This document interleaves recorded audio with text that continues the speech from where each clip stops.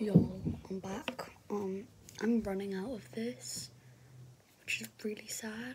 Like, oh, like I can only ever get like really big blobs out because I have to like squeeze it so much. It's really sad. But yeah, so I'm so excited for my order to arrive. So I got in the one I ordered earlier. I got um like those hair like parting like the things that you can put to make your parting straight. Headbands, like just normal like headbands. Um, like the you know when like a bubble has the like pumps.